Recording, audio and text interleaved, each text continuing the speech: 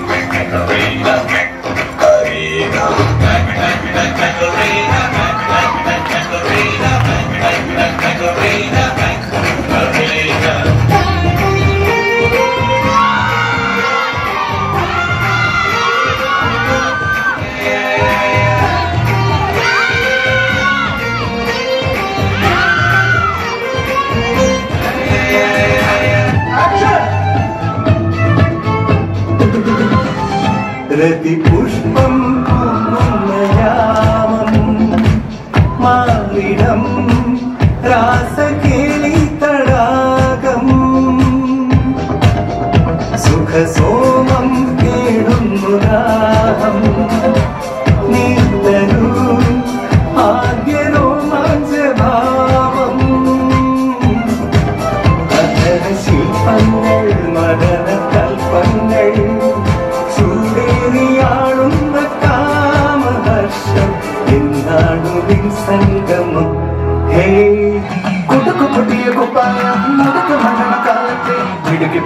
എന്നുടെ നെഞ്ചിൽ നടുക്കിടുന്നവളാണേ നീ നടുക്കിടുന്നവളാണേ നീ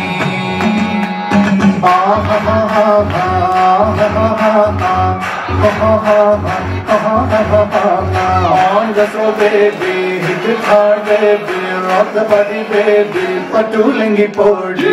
On the so baby, hit it hard baby, rock the body baby, patulengi podi. Kudu kupati upaya. മണ്ഡല കാലത്തിൽ ഇടുക്കി പിന്നെ എന്നോട് നെറ്റിൽ നടുക്കിരുന്നവളാണ് നീ നടുക്കിരുന്നവളാണ് നീ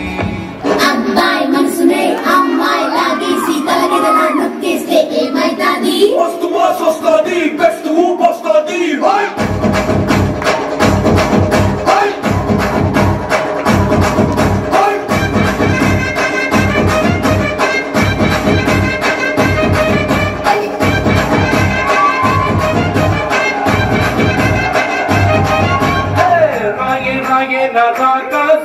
paper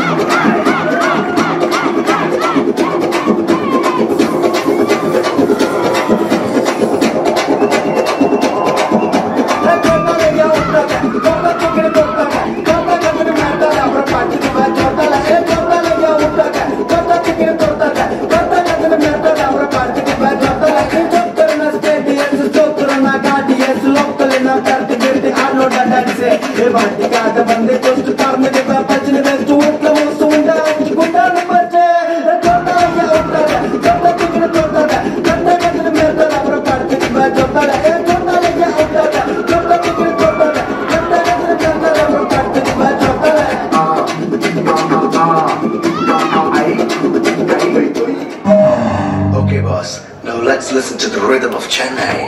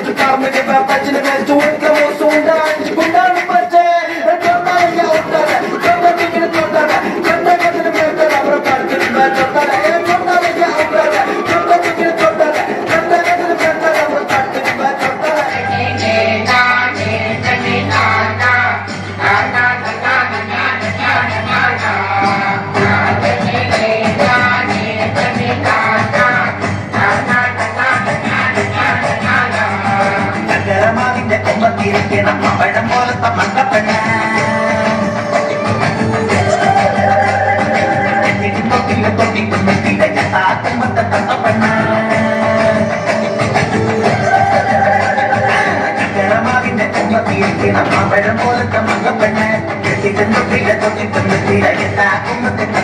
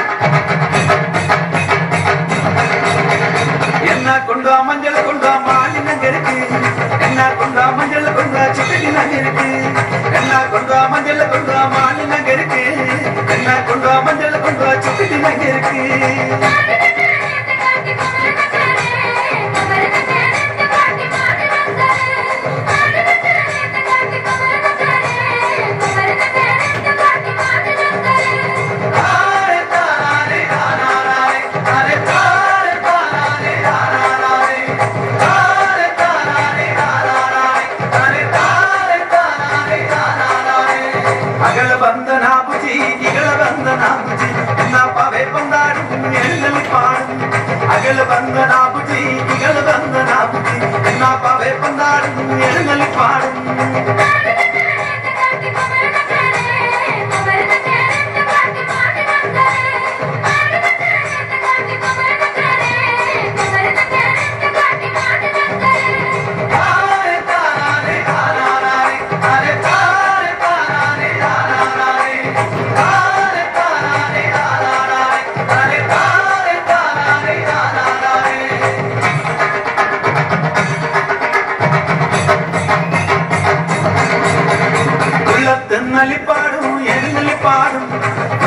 உள்ளத்தன்னலி பாடும் எழுநலி பாடும் உள்ளத்தன்னலி பாடும் எழுநலி பாடும் உள்ளத்தன்னலி பாடும் எழுநலி பாடும்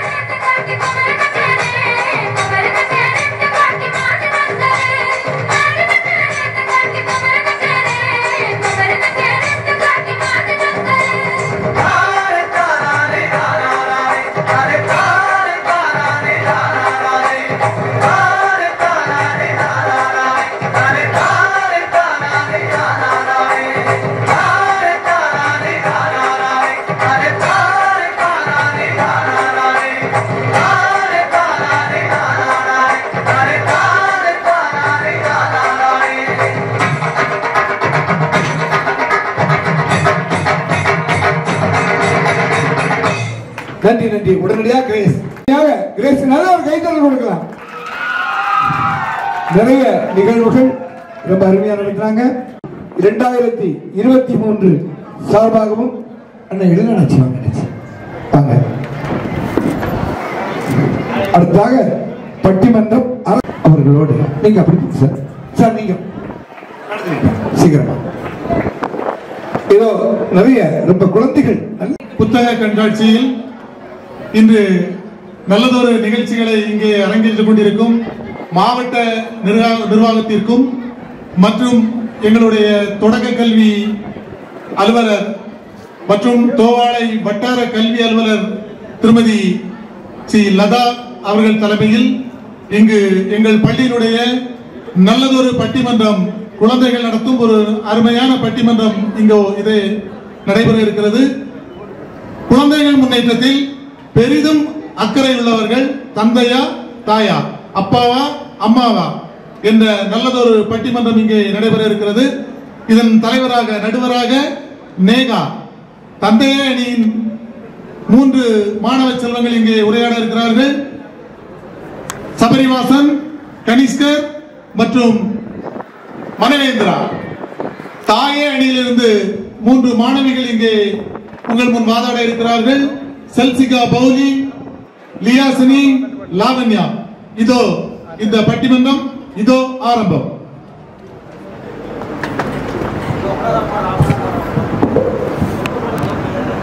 சபையில் வீச்சிருக்கும் சான்றோர்களே பெற்றோர்களே பெரியோர்களே உங்கள் அனைவரையும் வணங்கி மகிழ்கிறேன்.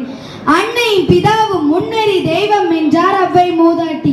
அவரின் கூற்றுக்கிணங்க நாம் அனைவரும் வணங்க வேண்டிய முதற் கடவுள் நம் பெற்றோர்கள்.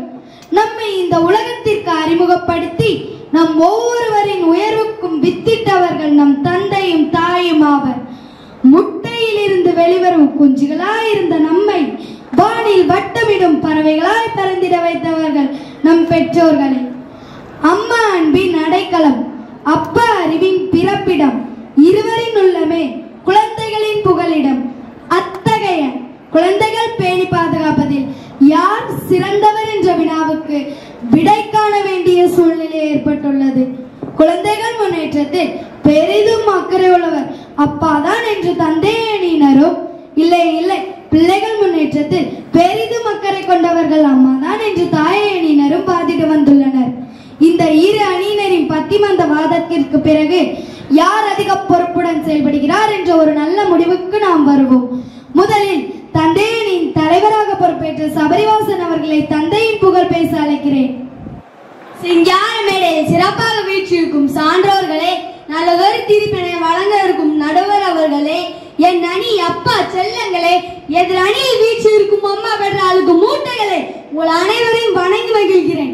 குழந்தைகள் முன்னேற்றத்திற்கு பெரிதும் மக்கள் தந்தையே என பேச வந்துள்ளேன். அப்பா என்ற மூன்றத்தில் ஆயிரம் அர்த்தங்கள் புதைந்துள்ளன குடும்பத்திற்காக அயராது உழைப்பவர் அப்பா. அப்பா பிள்ளைகளின் தன்னம்பிக்கை தட்டி எழுப்புவர் அப்பா தான். பிள்ளைகள் துவண்டி நிற்கும் போது தன் தோல் மீது ஏற்றி உருவம் காண்பவர் அப்பாதான் குடும்பத்தை தாங்கி நிற்பதால் தந்தை ஆகிறார் அம்மா செல்லம் கொடுத்து கொடுத்து பிள்ளைகளை செல்ல காசாக்கி விடுவார். ஆனால் அப்பாவின் கண்டிப்பும் அரவணைப்பும் பிள்ளைகளை அறிவாளியாக்கி விடும் அப்பா அதிகம் சிரிக்க மாட்டார். ஆனால் நம்மை அதிகம் சிந்திக்க வைப்பார். படிப்பில் மதிப்பெண் குறைந்து விட்டால் அம்மாவின் நச்சரிப்பும் முணுமுணுப்பும் தாங்க முடியாது. அப்பா நச்சரிக்க மாட்டார். நல்லவற்றை நாசுகளை எடுத்து உரைப்பார். முடுமுடுக்க மாட்டார். நம் முன்னேற்றத்திற்கு வழி சொல்லுவார். குடும்பம் ஒரு ஆலமரத்திற்கு ஒப்பானது அதன் கிளை அம்மாவிற்கு ஒப்பானது அதன் விழுது குழந்தைகளாகிய நாம் நீரை உறிஞ்சி தருவதன் வேர் அத்தகைய வேர் போன்றவர்தான் அப்பா காற்று புயல் வெயில் மழை எதுவா இருந்தாலும் மரம் சாய்ந்து விடாமல் காப்பது அதன் வேர் அத்தகைய வேர் போன்றவர்தான் அப்பா என்ற ஆணி சபையில் தன் மகன் முதன்மை பெற வேண்டும் என்பதே தந்தையின் ஆசை இதைதான் வான்புகள் வள்ளுவன் தந்தை மானுக்காற்று காற்றும் நன்றி அவைத்து முந்தி இருப்பச்சில் என்ற குரல் மூலம் தந்தையை பெருமைப்படுத்தியுள்ளார். ஆகவே குழந்தையின் முன்னேற்றத்திற்கு பெரிதும் அக்கறையுள்ள தந்தையே தந்தையே என கூறி விடைபெறுகிறேன். நன்றி வணக்கம்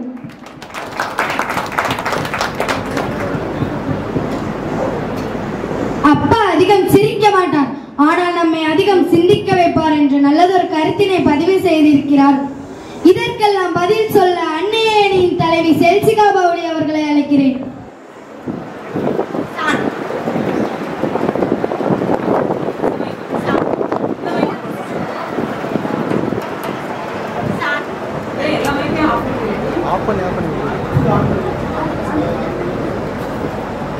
சான்றோர்கள் நிறைந்த சபைக்கு என் முதல் வணக்கம் கல்வி கண் திறக்கும் ஆசிரியர்களுக்கு குரு வணக்கம் நல்லதொரு தீர்ப்பினை வழங்க இருக்கும் நடுவர் அவர்களுக்கு நல் வணக்கம் பெற்ற தாய்க்கு பெருமை சேர்க்கும் என் அணி தோழிகளே அப்பா அணியின் தகர டப்பாக்களே உங்கள் அனைவருக்கும் என் அன்பு வணக்கம்.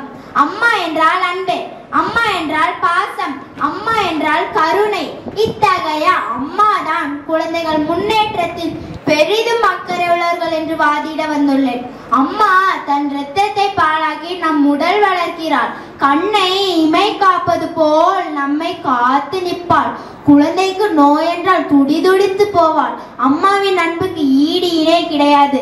எதிரணியினர் அம்மா செல்லம் கொடுத்து பிள்ளை பிள்ளைகளை செல்லாக்காசாக்கி விடுவார் என்று கூறினார். ஆனால் அம்மாதான் உங்களை பேணி காத்து செல்லமாக வளர்த்து ஆளாக்கினார் என்பதை மறந்துவிடக் கூடாது. இன்று பல குடும்பங்களில் குழந்தைகள் அப்பவே வில்லனாகவே பார்க்கின்றனர். எதற்கு எடுத்தாலும் கோபப்படுவார். பிள்ளைகளிடம் அன்பாக பேச மாட்டார். கடுகண்டு என்று இருப்பார். குழந்தைகளிடம் உனக்கு அம்மா பிடிக்குமா? அப்பா பிடிக்குமா? என்று கேட்டால் பெரும்பாலான குழந்தைகள் அம்மா தான் பிடிக்கும் என்பார்கள். சில குழந்தைகள் தான் அப்பா பிடிக்கும் என்பார்கள். அப்பா தான் குழந்தைகளை அறிவாளி ஆக்குகிறார் என்று கூறினர். எந்த வீட்டிலாவது குழந்தைகளுக்கு அப்பா பாடம் சொல்லிக் கொடுக்கிறாரா நடுவர் அவர்களே? இல்லையம்மா எனக்கு எங்க வீட்டுல எங்க அம்மா தான் பாடம் சொல்லி கொடுக்குறாங்க. ஆமா. அம்மாதான் சீராட்டி தாளாட்டி சோறுட்டி பாடம் புகட்டி குழந்தைகளின் கல்வி கல்விக்கு அடித்தளம் இடுகிறார். குழந்தைகளின் முதல் ஆசிரியர் அம்மாதான். தன் பிள்ளைகள் சான்றோன் என்று பிறரால் போற்றப்படும் போது அம்மா பூரித்து போவாள். இதைத்தான் தெய்வ புலவர் வள்ளுவர் ஈன்ற பொழுதின் பெரிதுவக்கம் தன் மகனை சான்றோன் என கேட்ட தாய் என்ற குரல் மூலம் பெற்ற தாய்க்கு பெருமை சேர்த்துள்ளார். ஆசைப்பட்ட எல்லாத்தையும் காசு இருந்தா வாங்கலாம். அம்மாவை வாங்க முடியுமா? நீயும் வாங்க முடியுமா? வாங்க முடியாது நடுவர் அவர்களே. அம்மா கிணை அம்மாதான். ஆகவே குழந்தைகள் முன்னேற்றத்தில் பெரிதும் அக்கறை உள்ளவர்கள். அன்னையே அன்னையே என்று கூறி விடைபெறுகிறேன். நன்றி வணக்கம். அம்மாதான் குழந்தைகளை பேணிக்காத்து செல்லமாக வளர்த்து ஆளாக்கினார் என்று அருமையாக வாதிட்ட செல்சிகா பவுலிக்கு நன்றி. அடுத்ததாக தந்தை அணியிலிருந்து கனிஷ்கர் அவர்களை வாதிட்டு அழைக்கிறேன். அவையோர்களே சான்றோர்களே உங்கள் அனைவருக்கும் என் சிறத்தாழ்ந்த வணக்கங்கள். குழந்தைகள் முன்னேற்றத்திற்கு பெரிதும் அக்கறை உள்ளவர் தந்தையே என பேச வந்துள்ளேன். அப்பா என்பது தன்னம்பிக்கையின் தாரக மந்திரம். அப்பா தம்மோடு இருக்கிறார் என்ற உணர்வுதான் பிள்ளைகளுக்கு பேராற்றலை உருவாக்குகிறது. எதிரறியினர் அப்பா என்பவர் கடுகடு என பேசுவர் என கூறினர். பிள்ளைகளுக்கு வில்லன் போன்ற செயல்படுவர் என கூறினர். ஆனால் வில்லன் போன்ற காட்சியளிக்கும் அப்பா தான் தன் பிள்ளைகளை ஹீரோ ஆக்கி மகிழ்கிறார். அப்பா ஒரு கசப்பு மருந்து போன்றவர். மருந்து சாப்பிடும் போது மிகவும் கசப்பாக இருக்கும். ஆனால் அந்த கசப்பு மருந்து தான் நம் உடல் பிணியை போக்கும். உடல் ஆரோக்கிய பெறும் அப்பாவின் கண்டிப்பும் அறிவுறுத்தினால்தான் பிள்ளைகளுக்கு கசப்பாக தோன்றும். அவைதான் பின்னாளில் நாடு போற்றும் நல்முத்துகளாக திகழ் வைக்கும். இதைத்தான் திரைப்பட கவிஞர் ஒருவர் உன்னை அறிந்தால் நீ உன்னை அறிந்தால் உலகத்தில் போராடலாம். உயர்ந்தாலும் தாழ்ந்தாலும் தலை வணங்காமல் நீ வாழலாம். மாபெரும் சபைகளில் நீ நடந்தால் உனக்கு மாலைகள் விழ வேண்டும். ஒரு மாற்று குறையாத மன்னவர் இவர் என்று போற்றி புகழ வேண்டும் என்று பாடி வைத்துள்ளார். இந்த பாடல்களை கேட்டாதாம் புகழ் பெற வேண்டும் என்பது ஒவ்வொரு தந்தையின் லட்சியமாகும். அம்மா பிள்ளைகளை பொத்தி பொத்தி வளர்த்தால் பித்தளை ஆக்குகிறார் அப்பா பிள்ளைகளை தட்டி தட்டி வளர்த்தால் தங்கங்களாக ஆக்குகிறார் எனவே குழந்தைகள் முன்னேற்றத்திற்கு பெரிதும் அக்கறை உள்ளவர் தந்தையே தந்தையே என்று கூறிவிட பெறுகிறேன். நன்றி வணக்கம். அப்பா என்பவர் நம்பிக்கையின் தாரக மந்திரம் என்று அருமையாக வாதிட்டனர் தந்தையடினர் அடுத்ததாக அன்னைய லியாஷ்னி அவர்களை வாதிட அழைக்கிறேன். சான்றோர்களே பெற்றோர்களே பெரியோர்களே சிறியோர்களே மற்றும் என்னை போன்றோர்களே உங்கள் அனைவரையும் வணங்கி அன்னையின் புகழ் பேச வந்துள்ளேன். பிள்ளைகளின் எதிர்காலம் பற்றி அதிகம் கலைப்படுபவர் அம்மாதான். சிறு வயதில் நல்ல நீதிகளை சொல்லிக் கொடுத்து பிள்ளைகளை நல்வெளிப்படுத்துவார். ஆனால் பல குடும்பங்களில் அப்பா குடிகாரராகவும் புகைப்பிடிப்பவராகவும் போதைப்பாக்கு பயன்படுத்துவராகவும் சூதாட்டத்தில் ஈடுபடுவதாகவும் உள்ளனர் இதனால் பிள்ளைகள் அப்பா புகைத்த சிகரெட் துண்டை புகைத்து புகை பிடிக்கின்றனர் அப்பா குடித்த காலி மது பாட்டலின் கடைசி சொட்டை குழந்தைகள் ருசி பார்க்கின்றனர் மேலும் அப்பா போடும் போதை பாக்குகளை தானும் சுவைத்து பார்க்கின்றனர்.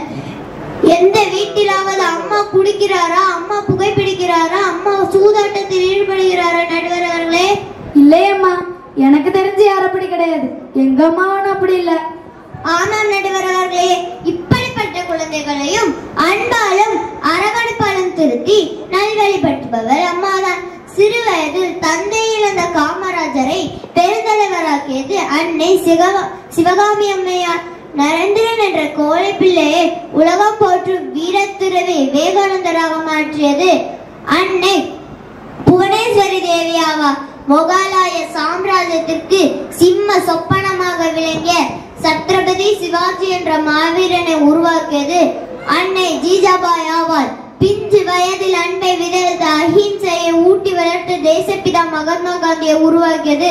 அன்னை புத்திலிபாய் ஆவார். இப்படி பல சரித்திர நகர்களை உருவாக்கியது அன்னையார் தான்.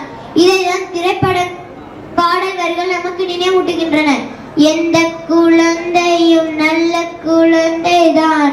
மண்ணில் பிறக்கையிலே அவன் நல்லவராவதும் தீயவராவதும் அன்னை வளர்ப்பினிலே அன்னை வளர்ப்பினிலே. ஆகவே பிள்ளைகள் முன்னேற அதிகம் பாடுபடுபவர். அன்னையே அன்னையே என்று கூறி விடைபெறுகிறேன். நன்றி வணக்கம். பல சரித்திர நாயகர்களை உருவாக்கியது அன்னையார் தான் என்று அருமையாக வாதித்த அன்னையடிக்கு நன்றி. அடுத்ததாக ம- தந்தை அணியிலிருந்து மனேந்திரா அவர்களை தந்தையின் புகழ் பேச அழைக்கிறேன். அனைவரையும் வணங்கி மகிழ்கிறேன். பிள்ளைகள் முன்னேற்றத்தில் அப்பாவே அதிகம் அக்கறை கொண்டவர் நான் பேச வந்துள்ளேன் பலாப்பழம் வெளியே முள்ளாகவும் கரடு முரடாகவும் காட்சியளிக்கும். ஆனால் அதன் உள்ளிருக்கும் சுளையோ மிகவும் இனிமையானது. அதை போன்றுதான் அப்பாவும் அம்மா தன் இரத்தத்தை பாழாக்கி பிள்ளைகளின் உடல் அளிக்கிறார் என்றனர் எதிரணியினர். ஆனால் அப்பா தான் தன் ரத்தத்தை வேர்வையாக சிந்தி சம்பாதித்து குடும்பத்தை கரை சேர்க்கிறார். இரவு பகல் பார்க்காமல் குடும்பத்துக்காக உழைத்து ஓடாய் போனவர் அப்பா. அப்பா குடிக்கிறார் அதனால் பிள்ளைகள் தான் கெட்டு போகின்றனர் என எதிரணியினர் வாதிட்டனர். ஆனால் பல வீடுகளில் அப்பாக்களை குடிகாரர்களாக ஆக்கியதே அம்மாக்கள் தான் அம்மா ஊதியா ஊதாரியாக வரவுக்கு மிஞ்சி செலவு செய்வாள். அண்டை அயலாரோடு வெட்டியாக கதை பேசுவார். டிவி தொடர்களில் மூழ்கி போவார். மேலும் வாட்ஸ்அப் ஃபேஸ்புக் என செல்போனில் அதிக நேரத்தை வீணாக்குகிறார். இதனால் பிள்ளைகளும் உதாரிகளாக ஆகின்றனர். இதைதான் தாயை போல பிள்ளை நூலை போல சேலை என்ற மனமொழி உணர்த்துகிறது அம்மா மீனை பொறுத்து கொடுத்து பசி போக்குவார். ஆனால் அப்பா மீனை பிடிக்க கற்று தருவார். வாழ்க்கையில் ஏற்ற இறக்கங்களை கற்றுத் தருவார். தோல்வி என்றால் துவண்டு விடாமலும் வெற்றி வந்தால் பெருமிதம் கொள்ளாமலும் நடந்து கொள்ள வழி செல்பவர் அப்பா. தன் பிள்ளையை அறிவுடையவனாக்குவது அப்பாவின் கடமையாகும். என்ன செலவானாலும் தன் பிள்ளையை டாக்டராகவோ இன்ஜினியராகவோ மாற்றுவது தந்தையின் பணியாகும். இதைதான் மகன் தந்தைக்கு ஆற்றும் உதவி. இவன் தந்தை என்னோற்றான் சொல் கொல் என்சொல் என்ற குரலுக்கு ஏற்ப அப்பாவின் பெயர் சொல்லும் பிள்ளைகளாக விளங்க வேண்டும் என்று கூறி என் உரையை நிறைவு செய்கின்றேன். நன்றி வணக்கம். அப்பாவின் பெருமைகளை தந்தே அணியில் இருந்து மனேந்திர அவர்கள் அருமையாக வாதிட்டனர். இதற்கெல்லாம் பதிலடு கொடுக்க அன்னை அணியில் இருந்து மதுமிதா அவர்களை வாதிட அழைக்கிறேன்.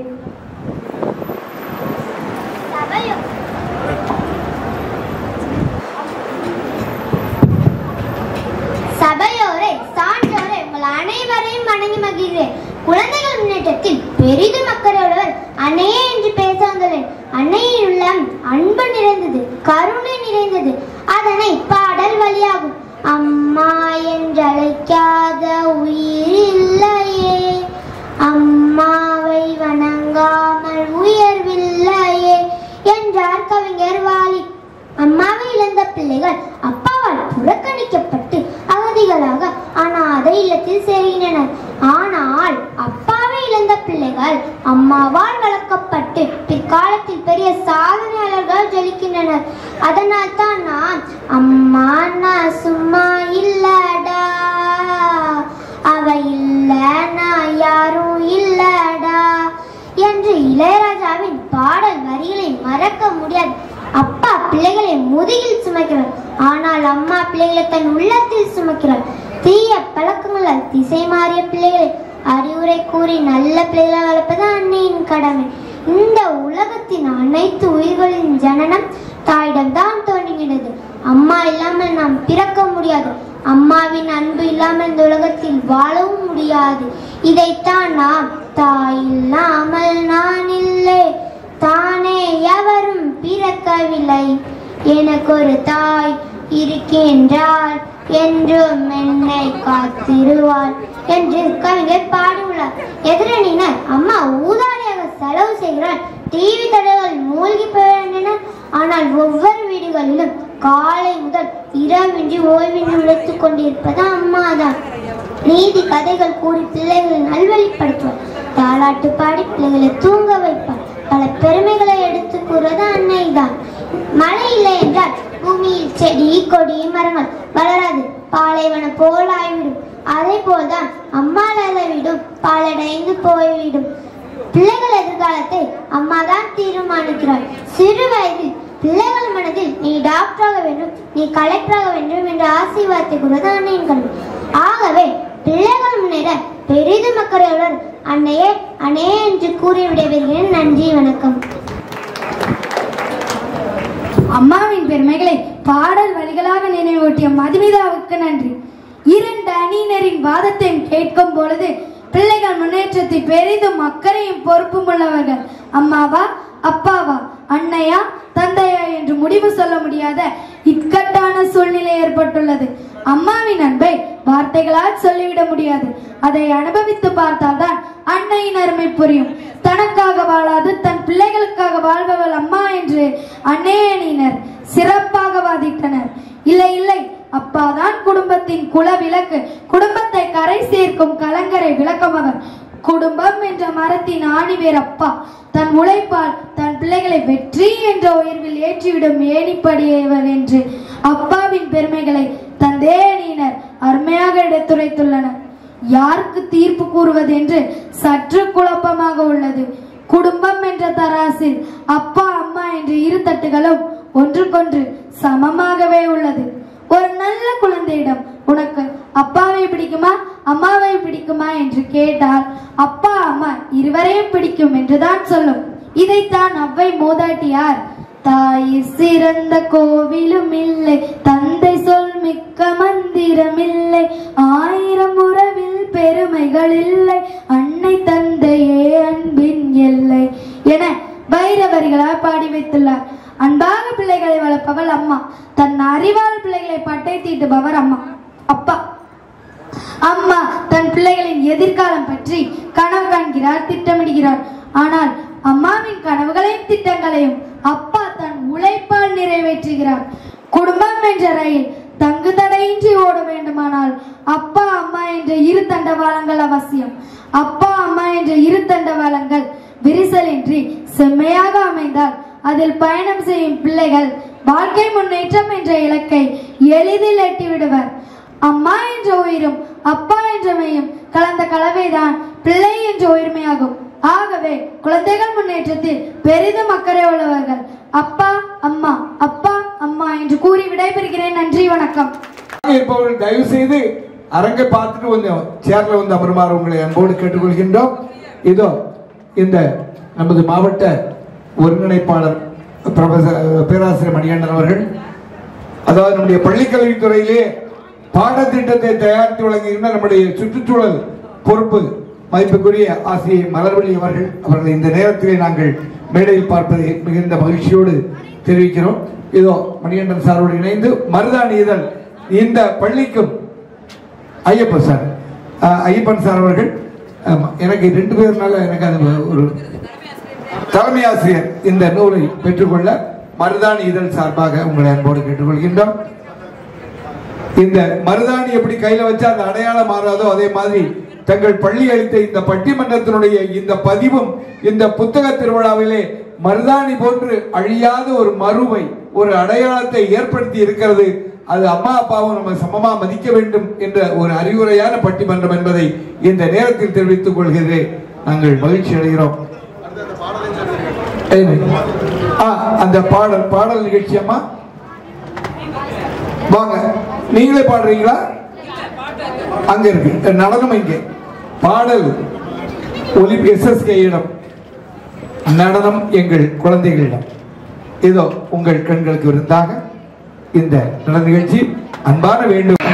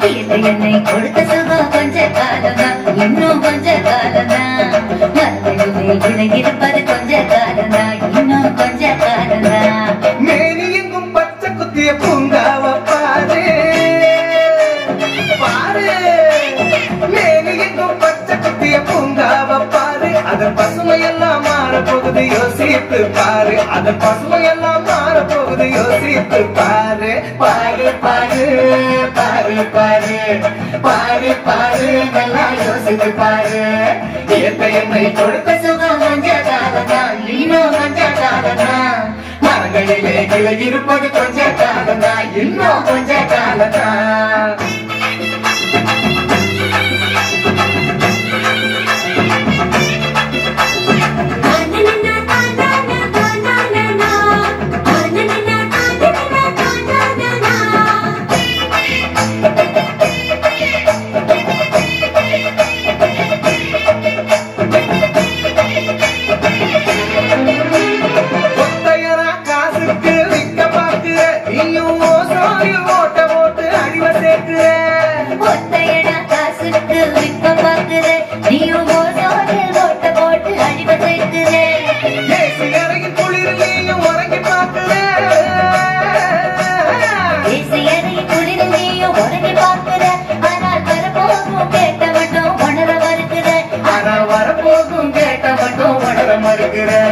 சூரியனின் கிருத்த உதிக்க செய்யாது. அது நோய்க்கெல்லாம் நீ வேறாடுக விடாது.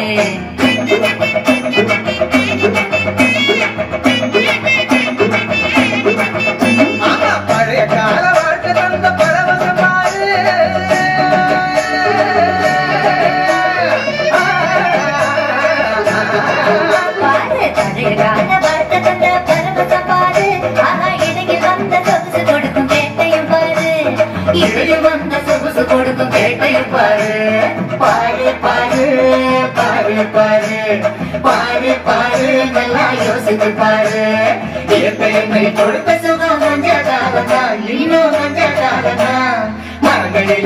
இருப்பது கொஞ்ச காலதா இன்னும் கொஞ்ச காலதா தூக்கரிக்கிட தூக்கரிக்கிட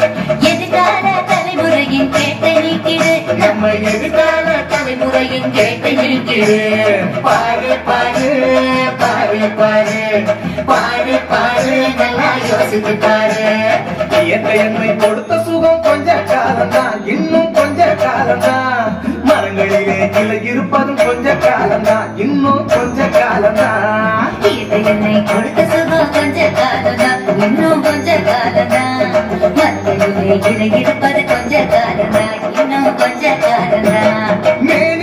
பச்சை குத்திய பூங்காவ பாரு. பாரு. மேனி பச்சை குத்திய பூங்காவ பாரு. அதன் பசுமையெல்லாம் மாற போகுது யோசித்து பாரு. அதன் பசுமையெல்லாம் இப்போது யோசித்து பாரு. பாரு பாரு பாரு பாரு. பாரு பாரு நல்லா யோசித்து பாரு. இயற்கை என்னை கொடுத்த சுகம் மஞ்சக்காரனா? இன்னும் மஞ்சக்காரனா? மரங்களிலே கிளை கொஞ்ச காலந்தா இன்னும் கொஞ்ச காலந்தா அதாவது இதுக்கு முன்னாடி ஆடின குழந்தைகள் இங்க வரும் பொழுது பட்டிமன்றம் மட்டும்தான். எல்லா குழந்தைகளையும் ஆடுறது பார்த்தோன்னே நாங்களும் இந்த இயற்கைக்கு ஒரு பாட்டுக்கு ஆடுறோம்னு சொல்லி எந்த விதமான முன் தயாரிப்பும் இல்லாமல் ஆடிய அந்த இளம் சித்தைகளை அதாவது மூவேந்தரகர் ஆர்வமொழி அரசு பள்ளி மாணவிகளை அவருடைய தலைமை ஆசிரியர்கள் உண்மையிலேயே ரொம்ப ஈடுபாடோடு இந்த நிகழ்வை சிறப்பாக பண்ணீங்க. உங்களுக்கு மாவட்ட நிர்வாகம் சார்பாகவும் இந்த புத்தக திருவிழா சார்பாகவும் பள்ளி கல்வித்துறை சார்பாகவும் எங்களுடைய பள்ளி மற்றும் கல்லூரியுடைய ஒருங்கிணைப்பாளர் பேராசிரியர் ஐயப்பன் ஆமா ஆமா எனக்கு பெரிய சிக்கல். ஐயப்பனா மணிகண்டனா ஒரு கன்ஃபியூஷன் ரெண்டும் ஒண்ணுதாங்கிறது வேற. ரூஸ்வெல்ட் சேவியர் அவர்கள் இப்போது இந்த மேடையிலே உரையாற்றுவதற்காக வந்திருக்கிறார்கள். ரூஸ்வெல்ட் சேவியர் அவர்களையும் அவர்களையும் உங்கள் கரகோஷத்தால் வரவேற்கும்படி அன்போடு கேட்டுக்கொள்கிறோம். நன்றியுரை கூற இருக்கின்ற வட்டாட்சியர் விளவங்கோடு தலைப்பின் சார்பில் உரையாட வந்திருக்கும் திரு குருமலை பெரியன் அவர்களையும் வருக வருக என மாவட்ட நிர்வாகத்தின் சார்பாக வருக வரவேற்கின்றேன்.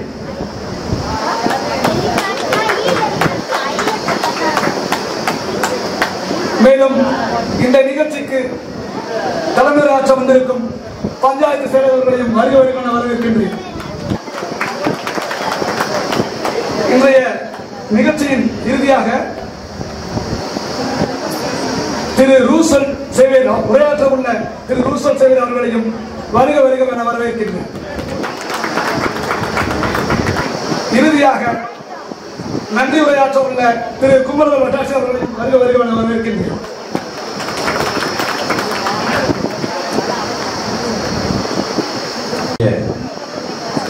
துணை இயக்குனர் மீன்வளம் கன்னியாகுமரி மாவட்டம் காசிநாத பாண்டியன் ஐயா அவர்களுக்கு நன்றியை தெரிவித்துக் கொள்கிறோம்.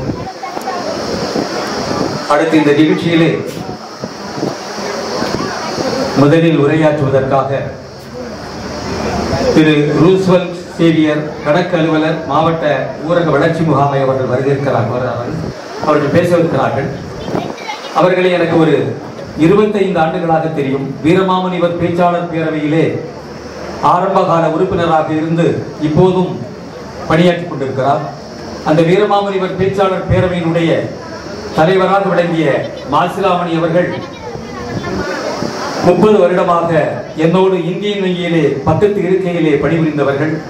அந்த மாசிலாமணி அவர்கள் தலைமையிலே விளங்கிய அந்த வீரமாமுனிவர் பேச்சாளர் பேரவையின் வழியாக டெல்லி தமிழ்ச்சங்கத்தில் போய் கூட பட்டிமன்றத்தில் உரையாற்றிய நண்பர் ரூஸ்வெல் சேவியர் அவர்கள் இப்போது நம்மிடையே பேச இருக்கிறார்கள்.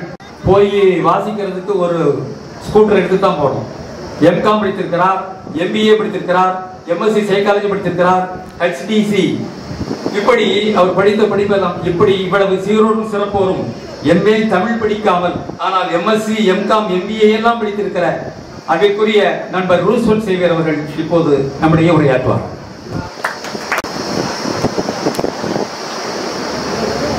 கொஞ்சம் தென்றல் அசைந்தாடி பின் கொலுவில் அமர தேர்ந்து தெரிந்து கொண்ட குமரி மண்ணில் வற்றாது ஈரமும் தீரமும். குதூகலிக்கும் கடல் அலைகள் அவை தொய்வின்றி தொட்டு விளையாடும் வெண்பட்டு மணற்பாங்கை.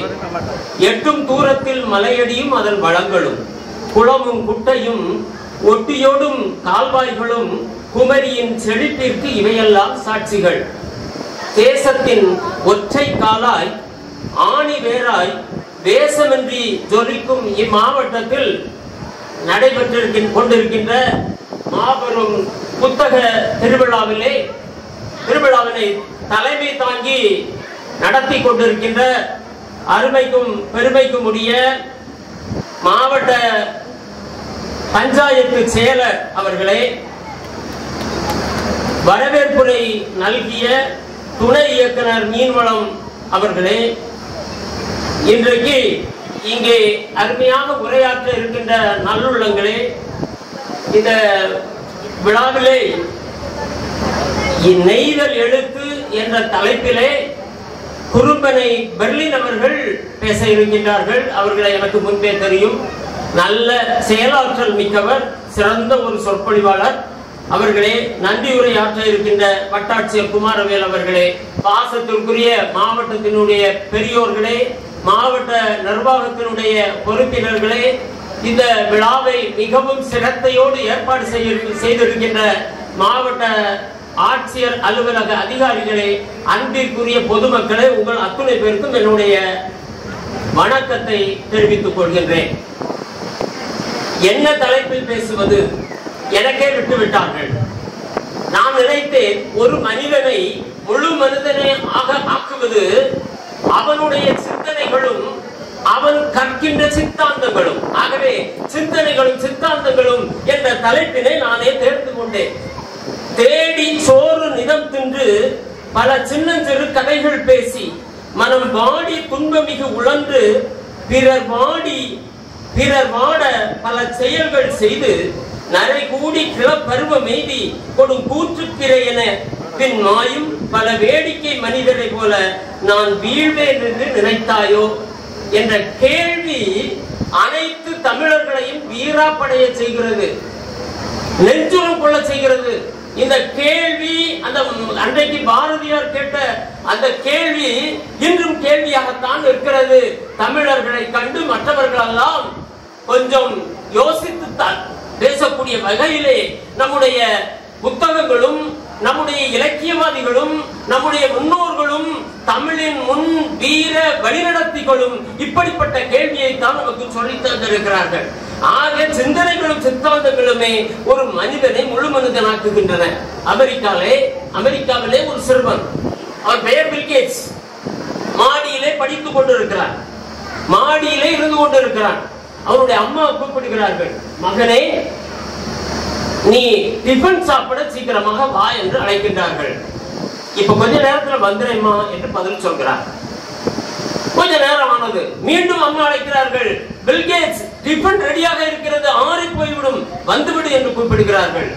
அப்போதும் கொஞ்ச நேரத்தில் வந்துவிடுகிறேன் வந்துவிடுகிறேன் வந்து விடுகிறேன் என்று அந்த பையன் பதில் சொல்கிறான். மூன்றாவது கூப்பிடுகிறார்கள். என்னதான் செய்கிறாய் என்று கேட்கின்ற போது அவன் சொன்னான். I am thinking mummy I am thinking நான் சிந்தித்துக் கொண்டிருக்கிறேன் என்று சொன்னான் இன்றைக்கு உலகத்தையே சிந்திக்க வைக்கின்ற ஒரு மாபெரும் மனிதனாக ஆக்கிவிட்டாள். ஆனால் நாம் என்ன செய்கின்றோம்? நாம் என்ன செய்து கொண்டிருக்கின்றோம்? ஒரு ஓய்வு பெற்ற பேராசிரியர் கதை மூலம் சொன்னால்தான் நமக்கு புரியும். ஓய்வு பெற்ற பேராசிரியர் ரொம்ப வயசாயிட்டு ஒரு எழுபது வயசுக்கு மேல ஆயிட்டு. அவர் வீட்டில இருந்து அந்த எழுபது வயசுக்கு மேல வீட்டுல ஓய்வில் இருக்கக்கூடிய வயதானவர்களுக்கு என்ன வேலை கொடுப்பாங்க? நமக்கே தெரியும். என்ன வேலை கொடுப்பாங்க? ஒண்ணுலே குழந்தைய ஸ்கூல்ல கொண்டு விட்டுட்டு வரணும். அல்லது பால் வாங்க போகணும். அல்லது வெஜிடபிள் வாங்க போகணும். பலசரக்கு வாங்க அனுப்புனா அங்க போயிட்டு இவரு பருப்பை கடலை எண்ணெய்க்கு பதிலா வேற எண்ணெயை வாங்கிட்டு வருவாரு. இங்க வந்து கொட்டு வாங்குவாரு. அதனால அதுக்கெல்லாம் இப்ப அனுப்ப மாட்டாங்க வயசானவங்களை. கடலை படம் போட்டிருக்குன்னு பார்த்து வாங்கிட்டு வந்துருவாரு. ஆனா இங்க வேற எண்ணெயா தரம் குறைஞ்ச எண்ணெயா இருக்கும். ஆக இப்படிப்பட்ட சின்ன சின்ன வேலைகளை கொடுப்பாங்க. நம்ம கதவையில வர்ற ஆளை வெஜிடபிள் வாங்க அனுப்புனாங்க. கடைக்கு வாங்க அனுப்புன காய்கறி வாங்க அனுப்புனாங்க. அவர் போனார். போயிட்டு காய்கறி எல்லாம் வாங்கிக்கிட்டு வீட்டுக்கு வந்தார்.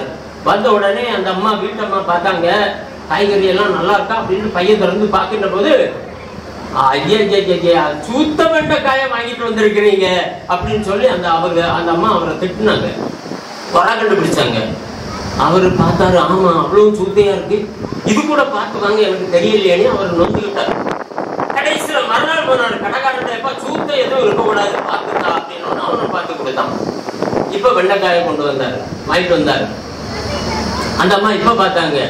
அதை கண்டுபிடிக்க வேண்டும் என்பதற்காக அர்ஜுனன் சொல்கிறார். உம், துரியோதனன் சொல்கிறார். துரோணாச்சாரியர் சொல்கிறார். அர்ஜுனா மரம் தெரிகிறதா? இல்லை குருவே. மரத்திலே இருக்கின்ற கிளை தெரிகிறதா?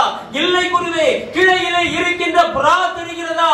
இல்லை குருவே. புறாவினுடைய கழுத்து தெரிகிறதா? ஆமாம் குருவே. அப்படியானால் அம்பை செலுத்து என்று சொல்கிறார். அந்த அம்பு சரியாக அந்த புறாவினுடைய கழுத்தை குறிவைத்து அதை பொத்து செல்கிறது என்று சொன்னால் இதை போன்று குறிவைத்து தாக்க வேண்டும் என்று சொன்னார் இந்த உலகிலே நாம் நுணுக்கமாக போராட வேண்டும் என்று சொன்னால் புத்தகங்கள் என்ற சித்தாந்தங்கள் அவற்றில் இருக்கக்கூடிய சிந்தான சித்தாந்தங்கள் நம்முடைய சிந்தனைகளாக வேண்டும். எப்படி ஆக வேண்டும்? நிலவிலே காலடி வைத்த முதல் மனிதன் யார் என்று கேட்டால் இந்த சின்ன பிள்ளைகளுக்கு கூட தெரியும் ஆம்ஸ்டாங் என்று. இது எல்லாரும் காலடி வைக்கலாம். ஆனால் நம்மளுடைய நாளெல்லாம் இளம் வயதில இருக்கின்ற போது கிட்டத்தட்ட முப்பது ஆண்டுகளுக்கு முன்னால் எல்லோருக்கும் தெரியும். நிலவிலே காலடி வைத்தது ஆம்ஸ்டாங் என்று. ஆனால் முன் குறிக்கப்பட்டவர் நிலவிலே காலடி வைக்க முன் குறிக்கப்பட்டவர் ஆம்ஸ்டாங் அல்ல. எட்வின் ஆல்டன் என்ற ஒரு மனிதர். எல்வின் எட்வின் ஆல்டரினும் அந்த ஆம்ஸ்டாங்கும் அவர்கள் ராக்கெட்டிலே அந்த அந்த வாகனத்திலே நிலவுக்கு செல்கிறார்கள். முதலில் நிலவிலே காலடி வைக்க வேண்டியது முன்குறிக்கப்பட்டது எட்வின் ஆல்டரின் அந்த வாகனம் அங்கே போய் நிற்கிறது. இப்போது எல் எல் அவருக்கு சமீட்சை வருகிறது. எட்வின் நீ உடனடியாக புதிய என்று சொல்ல சொல்கின்ற அந்த சமீட்சை வருகிறது. ஆனால் ஒரு கணம் யோசிக்கின்றான் நிலவு எப்படி இருக்கும் தெரியாது. நாமெல்லாம் நின்று பார்க்கிறோம். சேட்டலைட்டே அது இதெல்லாம் பார்த்துடுறோம். அன்றைக்கு எதுவுமே தெரியாது. ஒருவேளை நான் கீழே இறங்கியவுடன் சுட்டடிக்கப்பட்டு விடுவேனா? நான் பிழைப்பேனா என்பது அவனுக்கு தெரியாது. தயங்குகிறான். அடுத்த வினாடி அடுத்த ஆணை பிறப்பிக்கப்படுகிறது. அப்படியானால் ஆம்ஸ்டாங் நீ இறங்கு. எதையுமே யோசிக்காமல் அங்கே குதித்த ஆம்ஸ்டாங் தான் உலகத்திலே உயர் முதல் முதலில் நிலவை நிலவிலே காலடி வைத்த மனிதனாகிறான். அதை போன்று இளைஞர்களே நாம் முதலில் ஒரு செயலை செய்கின்ற போது துணிச்சலாக செய்கின்ற போது அந்த சிந்தனையோடு யோசித்தாலும் சிந்தனையின்றி மிகச் சிறப்பாக உடனடியாக செய்கின்ற போது நாம் புகழ் பெறுவோம் என்பது மிக முக்கியமானது. இப்போ ஒரு கேள்வி வருது. கடவுளிடம் ஜெபிப்பது சிறந்ததா? அல்லது படிப்பது சிறந்ததா? உண்மை எதுவென்று நம்ம ஆராய வேண்டிய விஷயம். ஜெபிப்பது சிறந்ததா? படிப்பது சிறந்ததா? என்று அந்த கடவுளிடமே கேட்டால் அவர் படிப்பதுதான் சிறந்தது என்று சொல்வார். என்ன காரணம் தெரியுமா? கடவுளிடம் எதை கேட்கிறார்கள்? பொதுவா கடவுள்கிட்ட மக்கள் எல்லாம் நல்லா ஜெபிப்பாங்க பிரேயர் பண்ணுவாங்க கேட்பார்கள் மன்றாடுவார்கள். அதெல்லாம் தினத்தோறும் நடக்கிறது தான் எதை கேட்பார்கள்? சாமானிய மனிதன். என்ன மாதிரி ஒருத்தன் காலையில பைக் எடுத்துட்டு வீட்டுல இருந்து வெளியே கிளம்புறான். என் மனைவி என்ன கேட்பா? போறாரு. இந்த மனுஷன் சாயங்காலம் கை கால் பொல்லாப்பு இல்லாம வீட்டுக்கு வந்து சேரணும் கடவுளே அப்படின்னு கேட்பாளா கேட்க மாட்டாளா சாதாரண ஒரு மனிதன் வெளியே கிளம்புகின்ற போது அவங்க வீட்டில் உள்ளவர்கள் தாயோ அல்லது மனைவியோ இப்படித்தான் கேட்பார்கள். சரி கடவுள் அதை நிறைவேற்றலாம்னு நினைக்கிறாரு. இந்த நடுவுல எடலாக்குடி ரோட்ல சபப்பட்டி கடை இருக்கு. பல இடங்கள்ல இருக்கு. அந்த சபப்பட்டி கடைக்காரன் காலையில என்ன வேண்டுவான்? பத்தி எல்லாம் பொருத்தி வச்சு பழம்பத்தி எல்லாம் கொளுத்தி வச்சு கடவுளே இன்னைக்கு நல்ல வசதியான குடும்பத்துல இருந்து நாலஞ்சு விழாதா? சந்தனப்பட்டி எல்லாம் காஸ்ட்லியா தேக்கப்பட்டி எல்லாம் செய்து வச்சிருக்கேன். அதுக்கு செலவு வராதா? என் பிள்ளைக்கு ஃபீஸ் கட்டணும்னா இதை வித்தாதான் முடியும். அப்படின்ட்டு அவன் கடவுளை வேண்டுவான். நேர்மையானது நம்ம அப்படி வேணும்ல கடவுள் அதையும் நிறைவேற்றி வைக்கணும். அதோட அப்படியே பார்வதிபுரம் தாண்டி சுங்காங்கடை தாண்டி பாலம் எல்லாம் போட்டாங்க. அதை தாண்டி அப்படியே போகின்ற போது உயிர் காக்கும் மருத்துவமனைகள் இருக்கு. அந்த உயிர் காக்கும் மருத்துவமனையில் இருக்கிற டாக்டர்கிட்ட மனைவி கடவுள்கிட்ட எப்படி வேண்டுவா? கடவுளே இன்னைக்கு ஒன்று ரெண்டு ஆக்சிடென்ட் ஆகுது வராதா குற்றுயிரும் கொலை எங்க ரோட்ல எங்க ஹாஸ்பிட்டல் இருக்கக்கூடிய ரோட்ல நடக்காதா? அப்பதான் ஹாஸ்பிட்டல்ல இருக்கக்கூடிய நர்ஸுகளுக்கெல்லாம் நான் சம்பளம் கொடுக்க முடியும் அப்படின்னு அவ வேண்டுவாளா வேண்ட மாட்டாளா கடவுளுடைய பாடு சிக்கல் தானே? என்ன செய்ய முடியும்? எல்லாரும் காப்பாத்தினாலும் பிரச்சனை தான். ஒருத்தர் ரெண்டு ஒரு பாதிப்பு தான். எல்லாருக்கும் பா தண்டனை கொடுத்தாலும் அதுவும் கஷ்டம் தான் சில குடும்பங்கள் அதோடு அழிந்து போய்விடும். ஆக கடவுளுடைய பாடு சிக்கல் நாங்க எங்க ரெண்டு எண்ணத்தை தட்டுவாரு நாலு எண்ணத்தை குழைக்க வைப்பாரு. அப்படி ஒரு மாப்பிள்ளை அவர் வண்டியை ஓட்டிட்டு போறாரு. ஆனா ஒரு பொம்பளை கேட்டா கடவுள்கிட்ட கடவுளே இந்த நாள் கேட்டா கடவுளுக்கு ஆமா இவன் கேட்கறது நியாயம் தானே? உனக்கு என்ன வேணாம் தடையுமா ஆனா ஒரே ஒரு நிபந்தனை உனக்கு என்ன தரணும் அத மாதிரி உன்னுடைய எதிர்த்த வீட்டுக்காரிக்கு ரெண்டு மடங்கு கொடுப்பேன். நல்லா யோசிச்சு கேளுன்னா இவனுக்கு ஒரே சங்கடமாயிடுச்சு. நாற்பது நாள் நான் நான் தவம் இருந்து இந்த கடவுள்கிட்ட நான் கேட்டிருக்கேன். எனக்கு ஒரு பங்களா தந்தா எழுத்த வீட்டுக்காரிக்கு ரெண்டு பங்களா. எனக்கு ஒரு கார் தந்தா எழுத்த வீட்டுக்காரிக்கு ரெண்டு கார். இது எப்படி நியாயம்? அப்படின்னு சொல்லிட்டு நல்லா யோசிச்சுட்டு கடவுள்கிட்ட கேட்டா ராத்திரி பூரா தூங்கல கடவுளே நல்லா யோசனை பண்ணி தான் கேட்கறேன் எனக்கு ஒரு கண்ணை எடுத்துருங்க. ஏன்னா எதிர்த்த வீட்டுக்காரிக்கு ரெண்டு மடங்கு கொடுப்பார்ல ரெண்டு கண்ணையை எடுத்துருவாரு. இப்படித்தான் நம்முடைய நிலைமை இருந்து கொண்டிருக்கிறது. இந்த நிலைமை மாற வேண்டும் என்று சொன்னார். எரிக் பெர்- பெர்ன் என்ற மனோதத்துவ நிபுணர் சொன்னார். எரிக் பெர்ன் என்ற மனோதத்துவ நிபுணர் மிகச்சிறந்த அந்த நிபுணர் சொன்னார். Six peoples are in single bed என்று சொன்னார். நாமெல்லாம் நினைத்துக் கொண்டிருக்கிறோம். ஒரு கட்டிலே கணவன் மனைவி அல்லது புதுமண தம்பதிகள்னே வச்சுக்கிறோம். ரெண்டு பேரும் படுத்திருக்காங்கன்னு நினைச்சுக்கிறோம் நினைக்கிறோம். ஆனால் அந்த மனவியல் வல்லுநர் சொல்கிறார் இல்ல ரெண்டு பேர் இல்லைங்க. அங்க ஆறு பேர் படுத்திருக்காங்க. நல்லா பாருங்க அப்படின்னு சொல்றாங்க. இது எப்படியப்பா ஆறு பேர்? இது என்ன கணக்கு? ரெண்டு பேரும் தான் நமக்கு கண்ணுக்கு தெரியுது. ஆறு பேரும் சொல்றாங்களே. இது என்ன கணக்கு என்று ஆராய்ந்து பார்க்கின்ற போது அவர் சொல்கிறார் ஒரு மனிதனுக்கு மூன்று குணங்கள் மாற்ற முடியாத குணங்கள். ஜென்மத்திலையும் மாற்ற முடியாது. குழந்தையிலிருந்து அந்த மூன்று குணங்களையும் கடைசி வரை அவன் பாடையில் போவது வரை கொஞ்சம் அட்ஜஸ்ட் பண்ணலாம். ஆனா மாத்த முடியாது. அதே போல அந்த பிள்ளைக்கு மூன்று குணம் இருக்கும். ஆறு குணங்கள் தான் அங்க ஒரு கட்டில கிடக்காங்க. அங்க என்னைக்கு சமாதானம் வந்து வாழ்க்கை என்பதை அட்ஜஸ்ட்மெண்ட் தான் என்பதை பலர் புரிந்து கொள்ள வேண்டும்.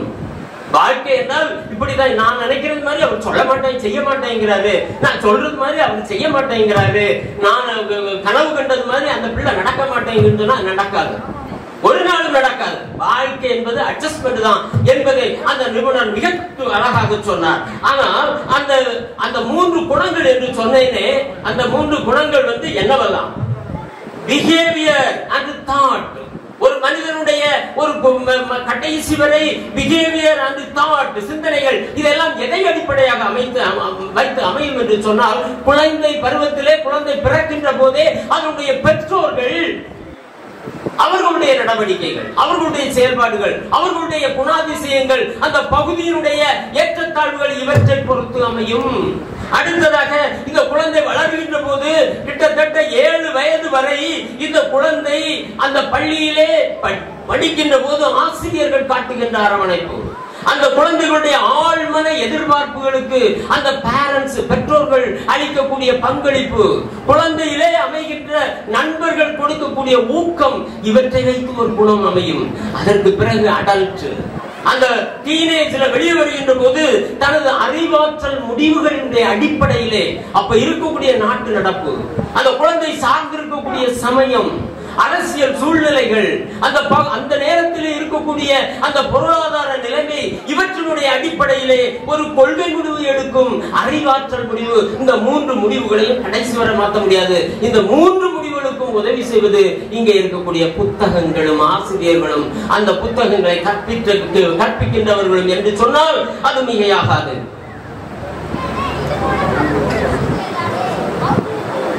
அடுத்ததாக தன்னம்பிக்கையோடு நாம் படிக்க வேண்டும். நம்ம ஒவ்வொருவருக்கும் தன்னம்பிக்கை இருக்க வேண்டும். எப்படிப்பட்ட தன்னம்பிக்கை இருக்க வேண்டும்? அமெரிக்காவினுடைய அதிபர் பில் கிளின்டன் தன்னுடைய மனைவி ஹிலரி கிளின்டனோடு ஒரு நாள் ஒரு பெட்ரோல் பங்குக்கு அவங்க எல்லாம் நம்மளுடைய நாட்டினுடைய அதிகாரிகள் போல அல்ல விடுப்பு விடுமுறை என்று வந்துவிட்டார் அவருடைய அந்த பணிவாள் பணி டைம் முடிந்து போய்விட்டது என்று சொன்னால் மாலை ஆகிவிட்டது என்று சொ- சொன்னால் சாதாரண மனிதர்கள் போன்று நடவா நடமாடுவார்கள். அப்போது பில் கிளின்டனும் அவருடைய துணைவியாரும் ஒரு ஓய்வு நாளிலே ஒரு காரிலே அவருடைய சொந்த காரிலே ஒரு பெட்ரோல் பங்கில் போய் பெட்ரோல் நிரப்புகின்ற போது அந்த ஹிலரி கிளின்டன் சொல்கிறாள் இந்த பெட்ரோல் பங்கு ஓனர் யார் தெரியுமா? எனக்கு அவரோடு தான் முதலில் திருமணம் பேசப்பட்டது. ஆனால் கால சூழ்நிலை நான் அவரை திருமணம் செய்து கொள்ளவில்லை. உங்களுக்கு மனைவியாக வந்துள்ளேன் என்று சொன்னாள். உடனே அந்த பில் கிளின்டன் என்ன சொன்னார் என்று சொன்னால் அப்படியா? அப்படியானால் நீ எனக்கு மனைவியாக விட்டால் இந்த பெட்ரோல் பங்குக்காரனுடைய மனைவியாகி இருப்பாய்? என்று கொஞ்சம் நக்கலாக பேசினார். உடனே ஹில்லரி கிளின்டன் சொன்னார் இல்லை இல்லை அது தவறு. நான் உங்களுக்கு திருமணம் ஆகாமல் இந்த பெட்ரோல் பங்குக்காரருக்கு திருமணம் செய்யப்பட்டிருந்தால் இந்த நாட்டினுடைய அதிபராக இருப்பது பில் கிளின்டன் அல்ல. அந்த பெட்ரோல் பங்கினுடைய முதலாளி இருந்திருப்பான் என்று சொன்னால் என்று சொன்னால் அந்த பெண்ணுடைய அந்த தன்னம்பிக்கையை நாம் பாராட்ட வேண்டும். அப்துல் கலாம் டாக்டர் அப்துல் கலாம். எல்லா குழந்தைகளுக்கும் எல்லா இளவல்களுக்கும் எல்லா இந்திய தேச மக்களுக்கும் பிடித்த அந்த டாக்டர் அப்துல் கலாம் பத்திரிகைகளை வியாபாரம் செய்து கொண்டிருந்தார். எப்படி பத்திரிகை கட்டுக்கட்டாக ட்ரெயின் அதில் நிற்காது. ட்ரெயினில் இருந்து தூக்கி எறிவார்கள். அந்த அந்த பண்டில்களை வேகமாக சென்று தாவி பிடிக்க வேண்டும். பிடித்து வியாபாரம் செய்ய வேண்டும். செய்து கொண்டிருந்தார். அதனால் அந்த பகுதியிலே புலி புலி நம்ம பகுதியிலே இருந்தது இப்பதான் காணாமல் போச்சு. புலியின் கொட்டைகளை எல்லாம் வாங்கி அவற்றை வித்து வியாபாரம் செய்து கொண்டிருந்தார். இப்படி அவருடைய எளிமை நிறைந்த இளமை காலம் அது அவரை சொல்கிறார் அப்படி போய் கொண்டிருக்கிறது. அவருக்கு ஒரு நாள் பைலட் வேலைகள் வேலைக்கான ஒரு உத்தரவு வருகிறது. இவர் இன்டர்வியூக்காக செல்கிறார். ஊரே கூடி அவரை வெளியனுப்புகிறது. நாலு நாட்கள் பயணம் செய்து டெரோடான் டெராடோன் என்ற பகுதிக்கு போய் இறங்குகிறார். ஒன்பது பேர் அங்கே இன்டர்வியூ செய்யப்படுகிறார்கள். எட்டு பேருக்கு வேலை கிடைக்கிறது. எட்டு பேருக்கு வேலை கிடைக்கிறது. ஒருவர் திருப்பி அனுப்பப்படுகிறார். அவர்தான் அவர்தான் இந்த அப்துல் கலாம். வாழ்க்கையினுடைய ஊருக்கு வர முடியாது அவரால். ஊரே ஊர் கூடி இவருக்கு பைலட் வேலை வேண்டும் என்பது கனவு.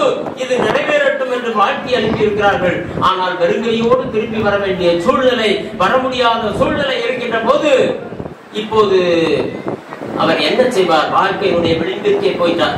பிரக்தியுடைய உச்சத்திற்கே போய்விட்டார். அப்போது ஒரு முனிவரை சந்தித்திருக்கின்ற போது அந்த முனிவர் சொல்கிறார். அன்னைக்கு திருவள்ளுவர் சொன்ன அதே அந்த குரலினுடைய அடிப்படையிலே இடும்பைக்கு இடும்பை படுப்பர் இடும்பைக்கு இடும்பை படாதவர் என்ற அடிப்படையிலே உனக்கு ஏற்பட்ட இந்த துன்பத்தை அந்த துன்பத்திற்கே நீ நினைத்தால் நீ உழைத்தால் துன்பத்தை கொடுக்கலாம் என்று அவரை ஊக்கப்படுத்திய அந்த ஒற்றை வார்த்தையிலே அந்த டாக்டர் அப்துல் கலாமாக உயர்ந்து இந்த உலகிற்கே பெருமை சேர்க்கக்கூடிய விதத்திலே வளர்ந்திருக்கிறார் என்று சொன்னால் அத்தகைய நம்பிக்கை வேண்டும். தாமஸ் ஆல்வா எடிசன் சின்ன வகுப்பிலே படித்துக் கொண்டிருக்கின்ற போது பிரைமரி ஸ்கூலிலே படித்துக் கொண்டிருக்கின்ற போது ஒரு சீட்டை அந்த பள்ளியில் தலைமை ஆசிரியர் எழுதி இதை உன்னுடைய தாயிடம் கொடுத்து விடு. உன்னுடைய தாயிடம் கொடுத்து விடு இதை நீ திறந்து பார்க்க கூடாது என்று மூடி முத்திரையிட்டு ஒரு கவரை கொடுத்து விடுகிறார். இதை கொண்டு அவர் தாயிடம் கொடுக்கிறார். தாய் பிடித்து அதை படித்துவிட்டு மா- பையனிடம் சொல்லவில்லை. பையன் கேட்டான் என்னம்மா எழுதியிருந்தது? என்று கேட்ட உடனே எப்பா எடிசா உனக்கு கல்வி கற்று கற்றுத் தருவதற்கு தகுதியான ஆசிரியர்கள் அந்த பள்ளியில் இல்லை. நீ மிகுந்த புத்திசாலியாக இருக்கிறாய். உனக்கு ஏற்பாடு போன்ற பாடம் சொல்லி தருவதற்கு அந்த பள்ளியிலே யாருமே இல்லை என்று எழுதப்பட்டிருக்கிறது. எனவே கவலைப்படாதே நான் உன்னை படிக்க வைக்கிறேன் என்று சொல்லி அந்த அம்மா படிக்க வைத்தார். அந்த அம்மா இறந்த பிறகு ஒரு நாள் அந்த பேப்பர்களை எல்லாம் பார்க்கின்ற போது அந்த கடிதம் இந்த எடிசனுடைய கையிலே படுகிறது. திறந்து பார்க்கின்றார். உண்மையை கண்டு க- அவர் அழுகின்றார் என்று சொன்னார். அவர் சொல்கிறார் என்னிடம் இருந்தது ஒரு பர்சன்டேஜ் தான். தொண்ணூத்தொன்பது பர்சன்டேஜ் என்னுடைய தாயும் நானும் சேர்ந்து உழைத்த அந்த கடின உழைப்பு தான் என்னை உருவாக்கியது என்று சொல்கிறார் என்று சொன்னால் இப்படி இருக்க வேண்டும் நம்பிக்கை. இப்படி இருக்க வேண்டும். மிகச்சிறந்த நம்பிக்கை அதுதான். ஒரு மனிதனை உருவாக்கும். ஒரு கிராமத்தை ஒரு முனிவர் சபித்து விட்டார். இந்த கிராமத்திலே முப்பது ஆண்டுகள் மழை பெய்யாது. என்று சபித்து விட்டார். போட்ட சாபம் போட்டதே என்ற அடிப்படையிலே அந்த மக்கள் எல்லாம் ரெண்டு வருடம் பார்த்தார்கள் மூன்று வருடம் பார்த்தார்கள். வேறு வேலை செய்ய போய்விட்டார்கள் கடந்து போய்விட்டார்கள். இந்த தொழிலை விவசாயத்தை எல்லாம் மறந்து விட்டார்கள். ஆனால் ஒரு மனிதன் மட்டும் மறக்கவே. தினந்தோறும் கலப்பையை எடுத்து தோளிலே போட்டு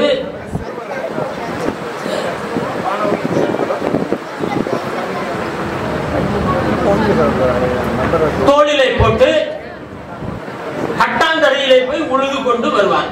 அவர் எல்லோரும் கிண்டல் அடிப்பார்கள். மழை இல்லை மழை வராது. என்ன இருபத்தஞ்சு வருஷத்துக்கு மழை வராது. அவர் சபித்து விட்டு போயிட்ட போய்விட்டார். நீ ஏன்பா வேலை இல்லாம போய் அந்த கட்டாந்தரையில போய் உழுதுகிட்டு வர அப்படின்னு கேட்ட உடனே அவர் சொல்வார் என்னைக்காவது ஒரு நாள் மழை வரும்ல?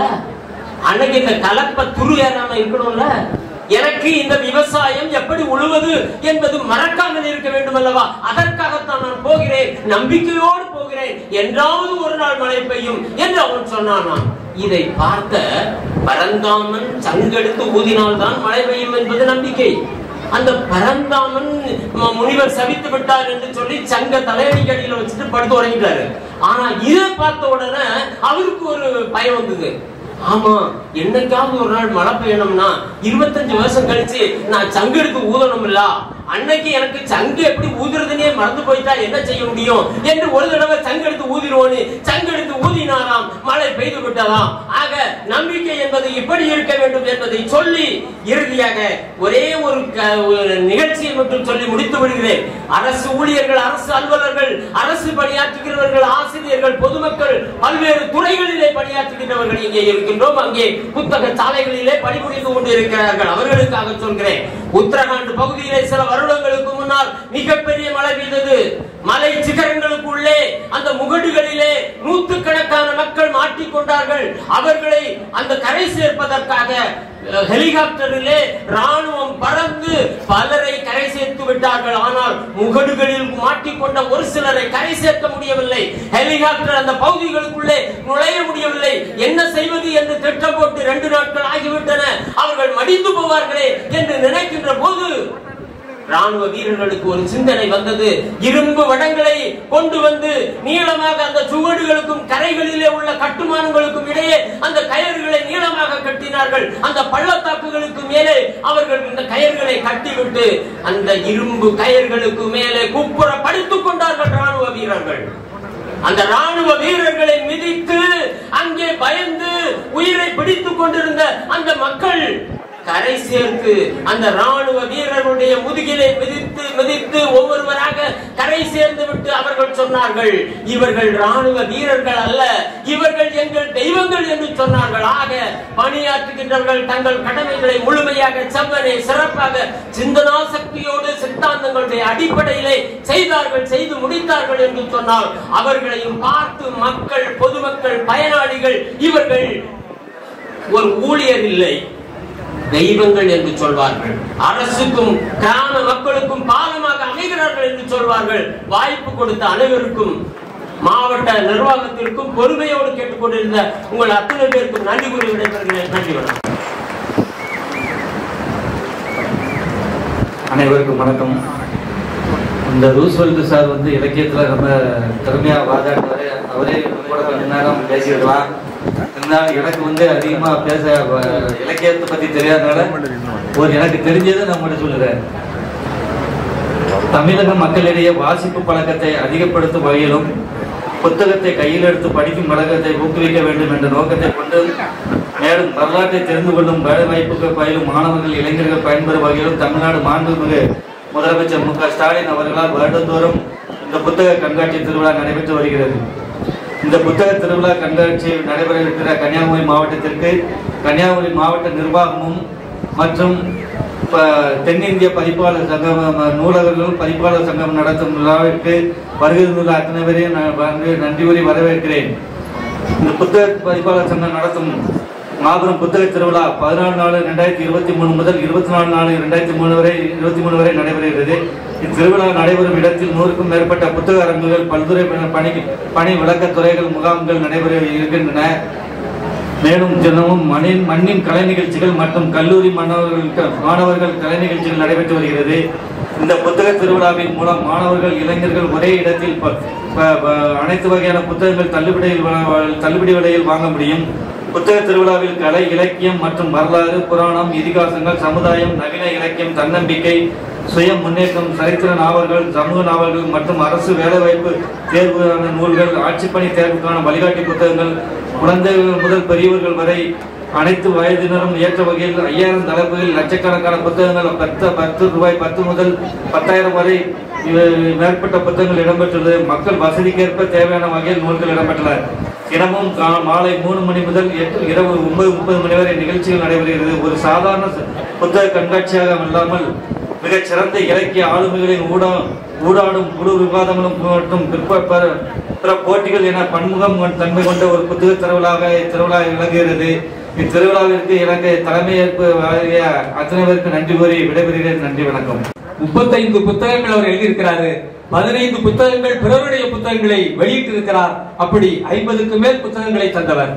அவருடைய முக்கியமான பணி என்று சொன்னால் இங்க ஒவ்வொரு நாளும் நேற்று நேற்று முந்தான நேற்று வந்த கண்மணி குணசேகரன் அவர்கள் நடுநாட்டு சொல்லகராதியை உருவாக்கினார் என்று சொன்னால் நெய்தல் நிலத்தினுடைய சொல்லகராதியை ஒரு பல்கலைக்கழகம் செய்ய வேண்டிய வேலையை குறும்பனை பெர்லின் அவர்கள் செய்திருக்கிறார்கள் என்பதை நான் இந்த ரொம்ப குட்டி காட்ட ஆரம்பித்தேன் அதுபோல மீனவர் மேம்பாட்டிற்காக அடிக்கடி வந்து ஆட்சியர் மன்றத்திலே ஆட்சியர் அலுவலகத்திலே சண்டை போடுகிற ஒரு ஆட்களில் ஒருவர் என்று சொன்னால் என பேப்பர்ல பார்த்துட்டு குறும்பனை பெர்லின் அவர்கள் அவர்களுடைய சிறப்பான சேவையை அறிந்துதான் ஆட்சியர் அலுவலகம் அவரை இந்த மேடையிலே பேசுவதற்கு அழைத்திருக்கிறது என்று நான் நினைக்கிறேன். அன்றைக்கு சுரேஷ் காணி அவர்கள் சொன்னார்கள் அடிக்கடி போய் எங்கள் பிரச்சனைகளுக்காக நான் ஆட்சியர் அலுவலகத்திலே மோதுவேன் என்று சொல்லி அப்படி மோதுகிறவர்கள் தான் சிறந்தவர்கள் என்று ஆட்சியர் அலுவலகம் சிறந்து அன்றைக்கு சுரேஷ் காணி மலையிலே இருந்து ஒரு சுரேஷ் காணியும் கடற்கரையிலே இருந்து குறும்பலை பெர்லின் அவர்களை எடுத்திருக்கிறார்கள். அவர்களுக்கு எங்கள் நன்றியை தெரிவித்துக் கொள்கிறோம்.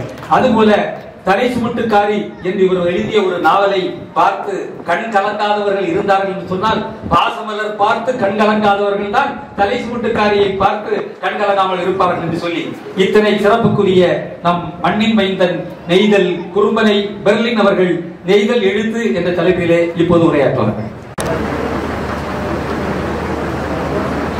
கடலுக்கு முகத்தையும் கரைக்கு முதுகையும் காட்டி நிற்கும் கடலோடி சமூகத்தின் எழுத்துக்களை இலக்கியங்களை சமவெளி சமூகத்திற்கு திரும்பி நின்று பேசுவதற்கு சமவெளியை பார்த்து முகத்தை பார்த்து முகத்தை வைத்து பேசுவதற்கான வாய்ப்பளித்த தமிழ்நாடு அரசுக்கும் மாவட்ட நிர்வாகத்திற்கும் அறிவு சார்ந்த சமூகம் கொண்டாடுகின்ற இந்த புத்தக திருவிழாவில் கடலோடிகளின் எழுத்தை கவனப்படுத்துகின்ற விதமாக வாய்ப்பளித்த அனைவருக்கும் நன்றி கூறி. நாங்க இப்போ கரையை பார்த்து பேச வேண்டிய சூழ்நிலை. எப்பவும் கடலையே பார்த்து பேசிட்டு இருந்தோம். எங்க முதுக பார்த்ததுனால கரையில் இருக்கக்கூடிய மக்களுக்கு கடல் மக்களின் பிரச்சனைகள் புரியல. சங்க இலக்கியங்களில் எல்லாம் நெய்தல் இலக்கியங்கள் பலவாறு பேசப்பட்டன. சங்க இலக்கியங்களில் பேசப்பட்ட நெய்தல் இலக்கியங்கள் எல்லாம் கரையிலே இருந்த கடற்கரை மணலையும் அலை அடித்து வரக்கூடிய அலைகளின் அந்த நளினத்தையும் கடற்கரையிலே ஏற்றி வைக்கப்பட்ட கட்டுமரங்களின் வரிசையான வனப்புகளையும் கடற்கரையிலே காய வைத்த கருவாடுகளின் மனத்தையும் கடற்கரை பெண்களின் அழகையும் வர்ணித்துதான் சங்க இலக்கியங்களில் இலக்கியங்கள் படைக்கப்பட்டது. அதன் பின்பு கடலையே பார்த்து பேசிக் கொண்டிருந்ததால் கடலோடிகள் இலக்கியம் படைப்பதற்கு மறந்து விட்டார்கள். சமீப காலங்களில் ஆய்வு மாணவர்கள் ஆய்வுக்காக புத்தகங்களை தேடும் போதெல்லாம் மலையும் மலை சார்ந்த குறிஞ்சி இலக்கியங்கள் அவர்கள் கண்களுக்கு தென்பட்டது. காடும் காடு சார்ந்த முல்லை இலக்கியங்கள் அவர்கள் கண்களுக்கு தென்பட்டது. வயலும் வயல் சார்ந்த மருத இலக்கியங்கள் அவர்கள் கண்களுக்கு தென்பட்டது. தலித் இலக்கியங்கள் போன்ற பாலை இலக்கியங்களும் அவர்கள் கண்களுக்கு தென்பட்டது. ஆனால் கடலும் கடல் சார்ந்த நெய்தல் இலக்கியம் ஒன்று இல்லை என்று கடந்து போகின்ற சூழ்நிலை திணைகளை பற்றி ஆய்வு செய்த மாணவர்களுக்கு ஏற்பட்டது. எங்கிருந்தோ வந்தவர்கள் கடற்கரையிலே தங்கியிருந்து கடல் மக்களின் வாழ்க்கையை படித்து அதை எழுதினார்கள். அவர்களும் சங்க இலக்கியங்களில் செய்தது போன்று கடற்கரை மணலையும் கடல் அலையின் அழகையும் கடற்கரையிலே பரத்தி வைக்கப்பட்ட கருவாடுகளையும் கடற்கரையிலே இருக்கின்ற கட்டுமரங்களின் அழகையும் கடற்கரை பெண்களினுடைய அழகையும் தான் வர்ணித்தார்களே தவிர கடலுக்குள் ரத்தமும் சதையுமாக உயிரும் உடலுமாக விளிம்பு நிலையில் வாழ்ந்து கொண்டிருக்கின்ற கடலோடிகளை பற்றி அவர்களுடைய உள்ளார்ந்த விஷயங்களை பற்றி சொல்லவில்லை. கன்னியாகுமரி மாவட்டம் ஒரு கடலோர மாவட்டம். கடலுக்கு மிக அருகில் இருக்கின்றவர்கள் தான் நீங்கள் அனைவரும். ஆனால் கடற்கரை மக்களை பற்றி உங்களுக்கு எப்படி நினைவுக்கு வருகிறது என்றால் ஒரு சினிமாவோ ஒரு ஊடகமோ ஒரு தொலைக்காட்சியோ மீனவர்களை கடலோடிகளை எப்படி சித்தரிக்கிறார்கள் என்பதை பொறுத்துத்தான் கடலோர மக்களை பற்றி நீங்கள் கவனத்தில் எடுத்துக்கொள்ள முடிகிறது. கடப்புறத்துக்காரனா அவன் காட்டு மிராண்டி அவன் குடிகாரன். அவனுக்கு சொந்தமா சிந்திக்க தெரியாது. அவன் குடிச்சிட்டு வந்து பக்கத்துல இருக்கவன அடிப்பான். மாறி மாறி அவர்களுக்குள் சண்டையிட்டு அவர்கள் சம்பாதித்துக் கொண்டு வரக்கூடிய பணத்தை செலவழிக்க வழியில்லாமல் மாறி மாறி அவர்களுக்குள் சண்டையிட்டு அதை போலீஸுக்கும் வக்கீலுக்கும் கொடுத்து நாசமா போவான். அப்படின்னு உள்ள மாதிரி தான் ஊடகங்களும் தொலைக்காட்சிகளும் திரைப்படங்களும் மீனவர்களை சித்தரிக்கின்றன. ஆனால் உண்மை அப்படி அல்ல. யதார்த்தத்தை சொல்ல வேண்டும் என்பதற்காகத்தான் நெய்தல் எழுத்து என்ற வகையில் கடலோடிகள் சமீப காலங்களில் எழுதத் தொடங்கி இருக்கிறார்கள் ஆய்வு மாணவர்கள் ஆய்வுகளுக்காக நெய்தல் நிலத்து படைப்புகளை தேடுகின்ற பொழுது எதுவுமே இல்லை என்று கடந்து போனவர்களுக்கு சுனாமி நேரத்தில் வெளிவந்த ஜோடி குருஸ் அவர்களுடைய ஆலிசூழ் உலகு என்ற ஒரு புத்தகம்தான். கடலோடிகளின் புத்தகம் என்பது போன்ற ஒரு நிலை உருவானது. அந்த புத்தகத்தை எப்போது படிக்க தொடங்கினார்கள் என்றால் கொற்கை நாவலுக்காக ஜோடி குரூஸ் சாகித்ய அகாடமி விருந்து விருது வாங்கிய போதுதான் அவரும் கவனத்தில் கொள்ளப்பட்டார் கடற்கரை இலக்கியமும் படிக்க படிக்கப்பட்டது. ஆனால் எத்தனையோ கடலோர எழுத்தாளர்கள் கடலுக்குள் போய் அவர்களுடைய அனுபவங்களை யதார்த்தங்களை பதிவு செய்திருக்கின்ற பதிவுகள் எத்தனையோ எழுத்தாளர்கள் இருக்கும் போது கடற்கரைக்கு மிக அருகில் இருக்கின்ற ஒரு கடலோர மாவட்டத்தினுடைய நம்மால் கூட அந்த கடலோர மக்களை வந்து சிந்திக்க தெரியவில்லை. அவர்களினுடைய உண்மை நிலையை புரிந்து கொள்ள முடியவில்லை என்பது வேதனையான விஷயம். கடற்கரை மக்கள் காட்டுமிராண்டிகள் குடிகாரிகள் குடிகாரர்கள் என்று போகிற போக்கில் சொல்லிக் கொண்டு போனால் இல்லை அவர்களுக்குள் இருக்கின்ற மானுட பிரவாகம் அவர்களுக்குள் இருக்கின்ற மனிதநேயம் அவர்களுக்குள் மிக மிக மிஞ்சி கிடக்கின்ற தாராள குணம் என்ற உணர்வுகளை இந்த நெய்தல் எழுத்து மூலமாக சொல்லியாக வேண்டும் என்ற கடமையில் நாங்கள் இங்கே களத்தில் நிற்கிறோம். கடற்கரை பெண்கள் தங்களுடைய தேவைக்காக கணவனை விட்டுவிட்டு வேறொரு ஆணோடு கூட செல்வதற்கு தயாராகி விடுவாள் என்று போகிற போக்கில் கடற்கரையை பற்றி எழுதிய எழுத்தாளர்கள் இலக்கியவாதிகள் சொல்லி சென்றார்கள். ஆனால் கடற்கரை பெண்கள் மானத்திற்காக தங்களுடைய உயிரை கூட கொடுப்பதற்கு தயங்க மாட்டார்கள் என்ற விஷயத்தை சுனாமி நேரத்தில் நடந்த சம்பவங்களை பதிவிடும் போது மானத்துக்கு அஞ்சி என்ற ஒரு சிறுகதை மூலம் தன்னுடைய உடலை இந்த சுனாமி நேரத்தில் வள்ளி ஆற்றிலே குளித்துக் கொண்டிருந்த ஒரு சகோதரி அடுத்த வாரம் கல்யாணம். சென்னையில மாப்பிள. அவ தோழிகளோட வள்ளி ஆற்றுல குளிக்க போறா. அப்ப பார்த்து சுனாமி வருது. சுனாமியில் அடித்து செல்லப்பட்ட அவளை பக்கத்து வீட்டுக்கார பையன் கையை பு- கையை பிடிச்சு மேலே எடுக்கிறான். அவள் உயிரை காப்பாற்ற முடியும் என்ற ஒரு நம்பிக்கையில் அவன் அவளை தூக்கி எடுக்கும் போது அவள் மேலே வரும்போதுதான் தெரிகிறது. மார்கச்ச கட்டியிருந்த அந்த லுங்கி அந்த சாரம் அவுந்து போய் நிர்வாணமாக நிற்கிறாள். அடுத்த வாரம் கல்யாணம். பக்கத்து வீட்டுக்காரன் என்னுடைய உடம்பை முழுவதுமாக பார்ப்பதற்கு அனுமதிக்கிறதா என்று அவனுடைய கையை உதறிவிட்டு அந்த தண்ணிக்குள் சென்று விடுகிறாள். அவன் இரு- இருந்தாலும் விடல. உச்சி முடிய பிடிச்சு அப்படியே கொத்தா தூக்குறான். அவனுக்கு கையை கடிச்சுக்கிட்டு உள்ள போயிடுறான். அது சரியா தவறா என்பது வேறு விஷயம். ஆனால் நம்முடைய இலக்கியவாதிகள் கடற்கரை நெய்தல் எழுத்துக்களை எழுதுகிறோம் என்று சொல்லி பெண்களை அவர்கள் தங்களுடைய லாபத்திற்காக கணவனை விட்டுவிட்டு வேறு ஆண்களுடன் சென்று விடுவார்கள் என்ற ஒரு பொதுமைப்படுத்தி எழுதுகின்ற ஒரு விஷயத்தை முறியடிக்க வேண்டி இருக்கிறது அதை சொல்ல வேண்டி இருக்கிறது என்ற ஒரு உணர்வின் மூலமாகத்தான் நெய்தல் எழுத்துக்களை எழுதுவதற்காக நெய்தல் படைப்பாளிகள் வந்திருக்கிறார்கள். கடலோர பகுதிகளில் மற்ற பகுதிகளை விட மிக அதிகமான புற்றுநோய் சாவுகள் கொத்து கொத்தாக மக்கள் செத்துக் கொண்டிருக்கிறார்கள். ஒரு ஊர்ல ஐயாயிரம் மக்கள் இருக்கிறான்னா அஞ்சு ஏக்கர் நிலம்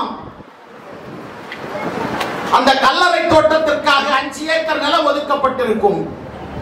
ஒரு வருஷத்துல அந்த அஞ்சு ஏக்கர் நிலத்திலும் பிணங்கள் அடக்கம் செய்யப்பட்டிருக்கும்.